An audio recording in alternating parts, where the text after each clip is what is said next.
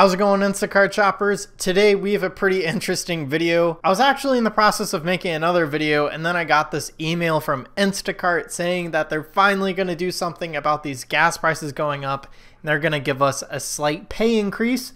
So uh, let's take a look at it. We're going to throw the email up and then I'm just going to go read some of it. Then we're going to compare what they're bumping us to other places like DoorDash, things like that. All right, supporting shoppers with temporary fuel assistance. So who knows how long the gas prices are going to be like this, but yeah, it's temporary assistance. We have been closely monitoring the increase in gas cost and assessing how we can best support you during this time. We plan to put the following measure into place to help shoppers offset the cost of rising fuel prices. So they're saying help, so they're admitting they're not going to be able to cover it all, but they're going to help us at least. So temporary fuel assistance. We will implement a temporary 40 cent fuel surcharge on customer orders across our marketplace, which will be passed directly to the shopper who delivers the batch.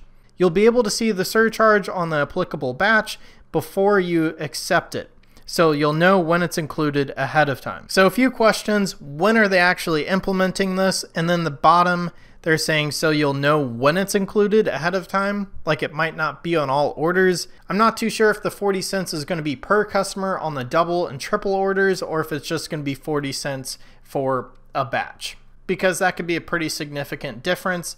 Also, something to think about if you're only doing five batches a day, five batches times 40 cents is probably around $2, which is helping to be fair. An extra $2 a day times the six days I work is an extra 12 bucks. So that covers like one day of gas. So that's definitely helping, and that's all they said they're going to do. And I'll take that. So Favor is another app that I use, and they actually have quite a, a sweet deal going on right now with the rise of gas prices. This is what they had to say just so you guys can compare what Instacart's doing to other companies. So basically what this company is doing is in a certain time frame, they are requiring that customers tip $4 more, which is a, a huge increase versus the 40 cents you're getting per batch. This could potentially be $4 more per order. To be fair though, that's all coming from the customer. It's whatever they tip you. So if they pay you $15, you're not getting anything extra. You're just getting a nice tip. Fuel assistance, everyone. Hopefully this actually helps you guys out. And as always, make sure you guys are trying to find Costco's or Sam's Clubs